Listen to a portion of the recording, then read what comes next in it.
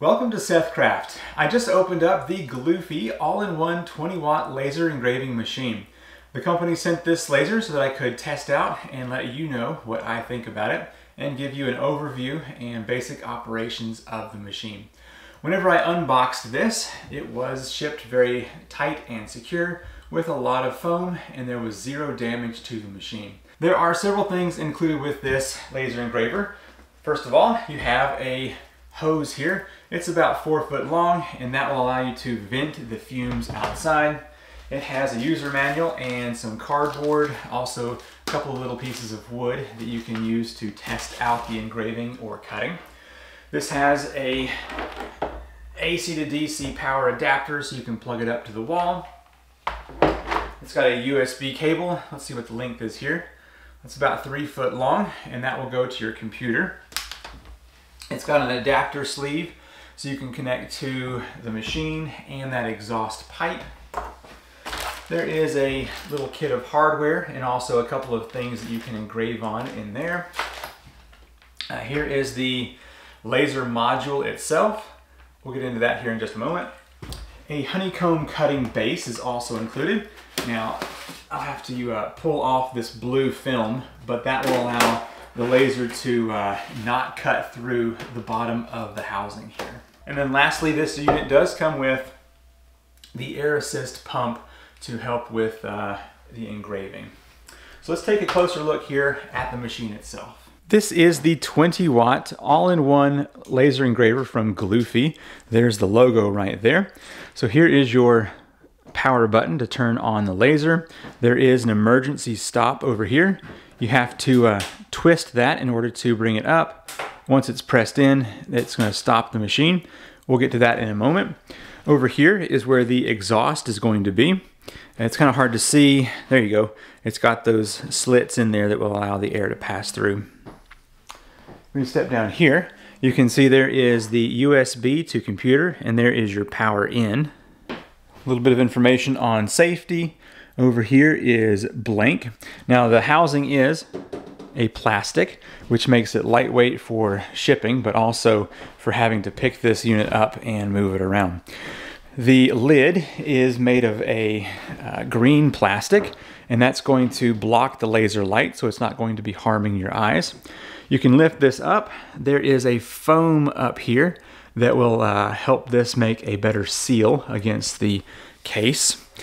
Now, if we move in here, this is where the laser is going to attach. It does have a uh, automatic adjustment for the Z-axis. Cable management, it does have a nice chain here to protect those cables from getting twisted or pinched. Now this back here, I'll have to see how well the air assist tube is going to stay out of the way. Hopefully it does a good job back there. Now over here on this side, there is a filter. So I can actually pull this up and show it to you. The concept behind this is that it will pull out smoke and debris and hopefully reduce the uh, particles that are in the air. Uh, there's also a nice size fan back there. Now, I have an exhaust system that I will likely be using, and it also will uh, pull out uh, from a four inch tube there, and it goes outside right there. So I will be hooking up uh, this to that tube instead of using the included one here. And that way it should get all of that uh, smoke out of this building. The air assist input is over here on this side in the bottom corner. Let's begin the assembly of this laser. Now the instruction booklet is very vague on what's going on. It has more information on how to install the tube for the exhaust, but nothing about how to install the laser.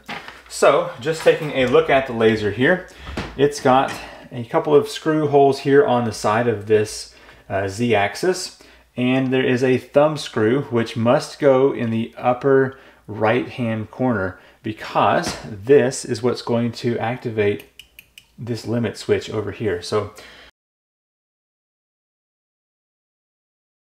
I'm just going to set this module in place and then get this thumb screw uh, screwed in here. And that will be the first thing that I install on this unit. Make sure that's tight. That also allows me to use these super small screws here to get these installed for the rest of the support here.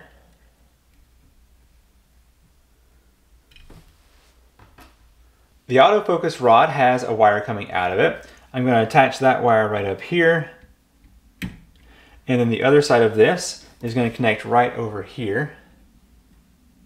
And now this right here is going to be the control wire that goes into the top of the laser. There's also a rubber stopper I'm going to pull out right here, and that's where the air assist hose is going to go.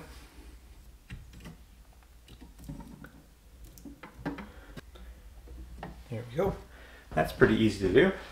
The air assist tube that goes on the outside of the machine is going to stick over here into this uh, little hole and I just is a press fitting. And then on the air assist pump, I'm going to remove this rubber stopper. There we go. And then connect this tube onto this side. And now this can just be plugged up to the wall. Seems to work well. Turn that off for now.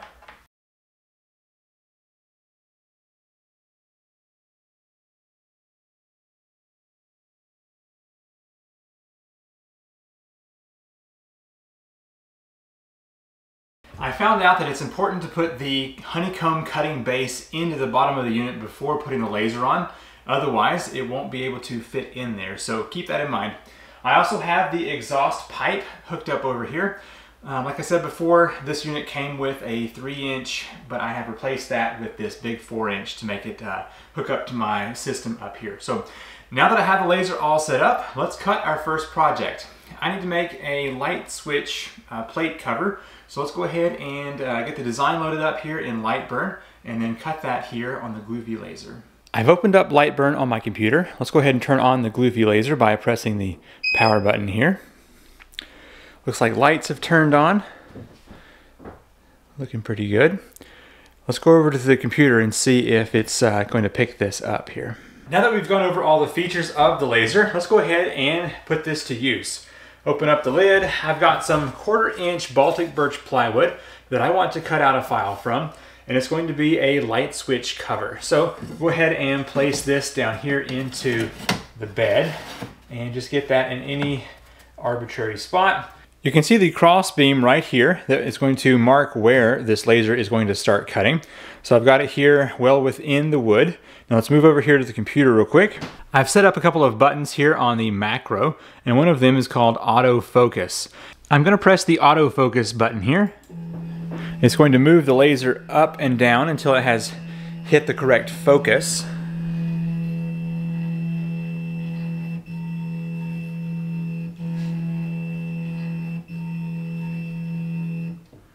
All right, that's where it wants to be.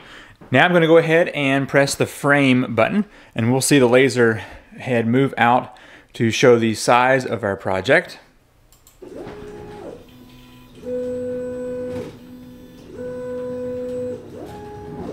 There we go. Should be good. We'll go ahead and close the lid. I'm going to turn on the air assist down here. All right, air assist is on. Let's go ahead and run the file which is just this simple uh, file for a light switch cover.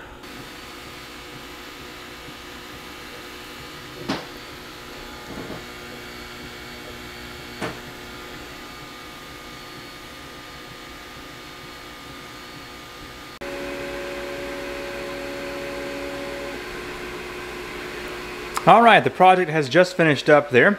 I'm still seeing a lot of the smoke exiting out the pipe over there. I guess that filter is doing its job, even though to me it seems like it is uh, reducing the flow. I'll have to see what we think about that. All right, let me turn off this air assist down here. It is a bit loud. All right, let's open up and see what we have. That is sucking out a pretty good bit of air over there. All right, that cut through. That's nice to see.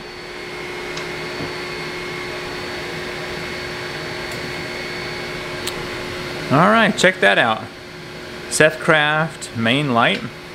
Now there's something I've noticed about this machine that seems strange.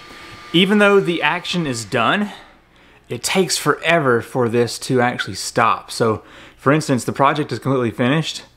I can push stop here uh, and now it's done. So I've also noticed that sometimes when the laser first kicks on, you have to do an autofocus before it will do anything else. It's very strange. Now let's see if I got my dimensions right here. This is the main light switch. Yeah, I think that'll do. Uh, I just got to have some screws to go in there. Yep, holes are lined up, looking pretty good. So essentially that will just uh, be a faceplate that goes over there to say where my main light is here in the building. I haven't screwed those down yet to get it flush, but anyway, that's just an idea I had to cover up those uh, switches. Okay, well that's my first look and first project here on the Gluwphy all-in-one laser. Now whenever I first got the laser set up, everything worked except there was no output on the actual laser itself. I sent an email to the technical support and they said check this one wire that may be loose. I popped that back together and everything has worked well after that. Now I am seeing that there is some kind of a delay between the laser and Lightburn on the computer. The action will be completed, but it's still holding up Lightburn, and so I'll have to push the stop button and then do the next action. So I don't know if there'll be some updates on the firmware in future versions of this, but um, just kind of a, an interesting delay between here and the computer. Other than that, it seems to cut well and engrave well, just as you would expect. If you want to check out more information on the Gluwphy laser, I will have a link in the description down below. I'm Seth with Seth Craft Workshop, and I will see you in the next video.